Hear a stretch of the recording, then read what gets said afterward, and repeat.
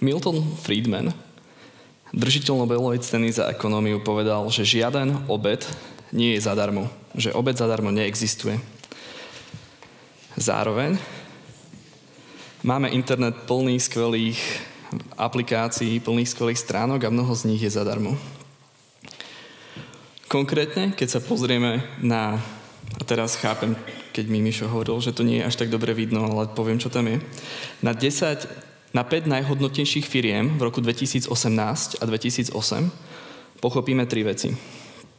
Prvá, že za tých 10 rokov je v top 5, všetky firmy sú technologické. Druhá, tie firmy sú relatívne mladé, a tretia zaujímavá informácia je, že je tam Facebook a Google, čo sú vlastne firmy, ktoré sú pre nás používateľov úplne zadarmo. Ako môžu byť najhodnotnejšie? Sú také hodnotné preto, lebo tam platíme svojimi dátami, platíme informáciami, ktoré tam poskytujeme. My sami, zadarmo. Ako Slavo povedal, pracujem v Exponei. Expona je firma, ktorá bola označená Forbesom, magazínom Forbes ako nápad za miliardu. A čo robíme je, že zbierame dáta o užívateľoch na internete a zlepšujeme ich skúsenosť, keď sú na rôznych web stránkach. Niekto by to mohol nazvať špehovaním. Ja hovorím, že to nie je nič nové. Pretože dáta sa vždycky zbierali aj v offline svete a vždycky sa využívala nejaká psychológia. Toto sú také moje nákresy, keď som sa zamýšľal nad tým, ako sú mnohokrát dizajnované predajne uh, Bila, Lidl a Tesco. Konkrétne. Tesco je navrhnuté spôsobom, tu vpravo je vchod, že všetko, čo chcete, sa nachádza na opačnom rohu. Čiže keď si chcete niečo kúpiť, musíte prejsť cez všetko oblečenie a všetko, čo nepotrebujete. Potom si zoberiete to, čo chcete, idete znova cez všetko, čo nepotrebujete a môžete zaplatiť.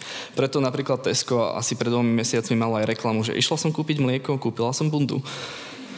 Um, ďalší model je napríklad Lidl.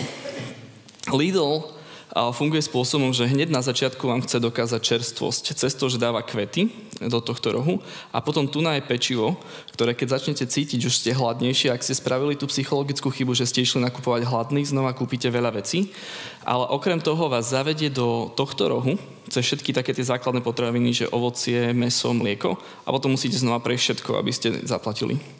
A Bila to má zasa inak spravené. Bila vám nedovoluje vôbec prejsť zaplatiť, keď vojdete, mnohokrát. Musíte prejsť cez ovocie, zeleninu, mlieko, meso a potom vám dovolí, aby ste išli zaplatiť a znova prešli všetko ostatné. Toto sú modely, ktoré boli navrhnuté psychológmi za jediným dôvodom, aby sme tam minuli viacej peňazí. A online skúsenosť sa líši v dvoch veciach. Jedna taká marginálna v tom, že tam sa nesnažíme, aby ľudia stravili čím viacej času, ale čím menej. Ale druhá brutálne dôležitá informácia je, že v online svete vieme identifikovať, kto ste. Čiže kým v klasických predaniach sú senzory, ktoré skúmajú, ako ľudia chodia, umiestňujú produkty podľa veku, že napríklad cereálie pre deti sú dole a cereálie pre dospelých sú hore. Na webe viem, keď sa vrátite na tú istú stránku. Viem, aké produkty ste si pozerali počas svojej najbližšej návštevy a viem vám ich hneď zobraziť. A Teraz by som sa s vami chcel podeliť o dva príbehy toho, ako dáta boli využívané v reálnom svete. A tieto príbehy kladú otázku, akú hodnotu má informácia, akú hodnotu má to, že my niekomu poskytneme informáciu. Akú hodnotu môže mať informácia, že aký je váš obľúbený herec, aký je váš obľúbený seriál, alebo aký je váš obľúbený režisér. O tom je prvý príbeh. Netflix. Netflix je internetová služba. Nazval by som to, že je to taký paušál na pozeranie filmov. Niečo ako HBO. Platíte každý mesiac, aby ste si mohli pozerať filmy. A hodnota tejto firmy je 120 miliard dolárov momentálne. Táto firma sa rozhodla spraviť seriál, ale zaujímavé je, že v tej istej dobe sa vytvorili dva seriály. Ja len chcem spraviť taký malý experiment a hlavne chcem, aby vy ste sa pozerali na seba. Kto z vás počul o tomto seriáli, volá sa, že House of Cards. Je niekto taký, čo už o tom niekedy počul? Okay, že pár rúk je hore. A kto z vás niekedy počul o Alpha House? Nikto. presne túto reakciu som čakal, že aspoň niekto bude poznať House of Cards. A rozdiel medzi týmito dvoma seriálmi, obidva seriály mali veľa peňazí, obe, oba seriály boli o tom, čo sa deje v Bielom dome v USA. Ale House of Cards bol seriál postavený na dátach. Preto nazvali House of Data. A čo konkrétne? Analytici si všimli jednu zaujímavú vec, že množstvo používateľov videli film od Davida Finchera, konkrétne film Social Network, pozerali ho od začiatku do konca a zároveň títo používateľia si videli britskú verziu seriálu, myslím, že to je z 90. rokov, House of Cards. A zistili ďalšiu zaujímavú vec, že ľudia, ktorí videli House of Cards britský, tiež mali radi filmy s Kevinom Spaceym, alebo pozerali iné filmy režirované Davidom Fincherom. Zrazu im vznikli takéto tri obrovské kruhy, ktoré sa prekrývali, pretože vedeli identifikovať, že tieto skupiny ľudí existujú. A tak vytvorili House of Cards, ktorý režiroval David Fincher, a ktorý bol na predlohe britského seriálu a v ktorom bol v hlavnej úlohe Kevin Spacey. Také jednoduché. Tento seriál bol obrovský úspech. Okrem toho, že vedeli, že tento seriál bude úspech, lebo pospájali dáta, vedeli, kto presne sa o tento seriál bude zaujímať. Nie? Pretože vedeli, kto má rád Kevina Spaceyho. Napríklad na Facebooku, ak niekto z vás dá like na stránku, že, že followuje Kevina Spaceyho, tak to znamená, že ho asi máte radi a že ste presne ten človek, ktorému chcem túto reklamu ukázať. Okrem toho Netflix vytváral rôzne zábery vo svojich traileroch alebo ukážkach, kde sa zameriaval na iný typ diváka – a čo bolo zaujímavé, že prieskum v roku 2017 ukázal, že 86 predplatiteľov tejto služby Netflix má menšiu pravdepodobnosť prestať používať Netflix kvôli tomuto jednému seriálu, postavenému na dátach. Netflix všeobecne o vás zaznamená strašne veľa dát. Zaznamenáva, keď stlačíte pauzu, keď pretočíte späť, keď predskočíte dopredu, v ktorý deň pozeráte, v akom momente prestávate pozerať a podobne. Netflix sa snaží spraviť pre vás čo najlepšiu skúsenosť a po prípade aj vytvoriť seriál, ktorý bude pre vás šitý na mieru. Je tu aj iný príbeh, trošku viacej kontroverzný. Je to o Facebooku a o firme, ktorá sa nazývala, nazýva Cambridge Analytica. Kde začať? Toto je obrázok Marka Zuckerberga tento rok, keď eh, sedel pred americkým senátom obhajoval, že mnohé dáta z Facebooku boli zneužité.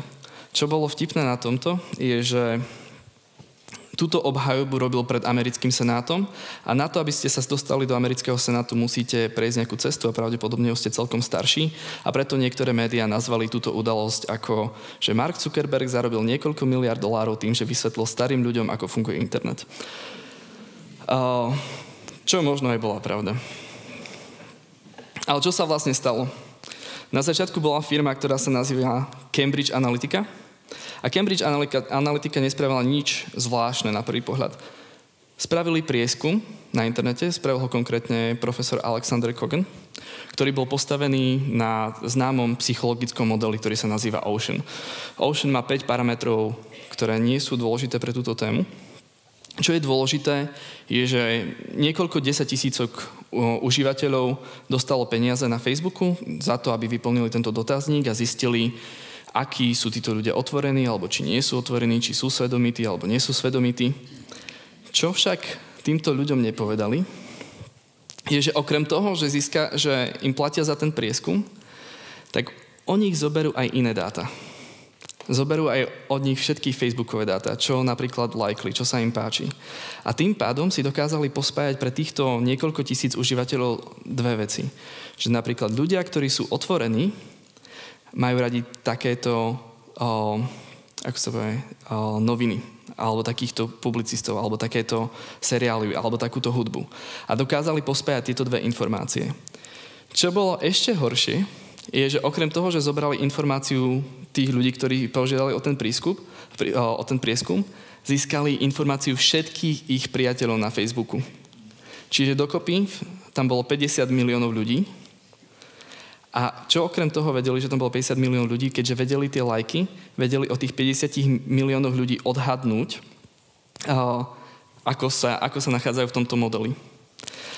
A zabudol som povedať taký malý detail, že Cambridge Analytica bola firma, ktorá bola platená napríklad v kampani Donalda Trumpa, alebo bola platená v kampani na Brexit a odchod Británie z euro, eurozóny alebo euro, Európskej únie.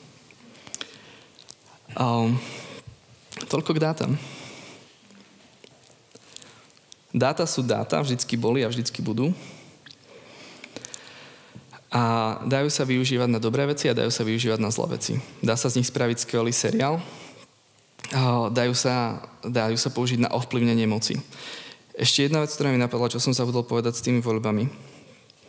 Že okrem toho, že vlastne už bol ten, že mali psychologický profil, začali ľuďom ukazovať rôzne články na Facebooku. Práve som si uvedomil, že to je celkom dôležitá časť.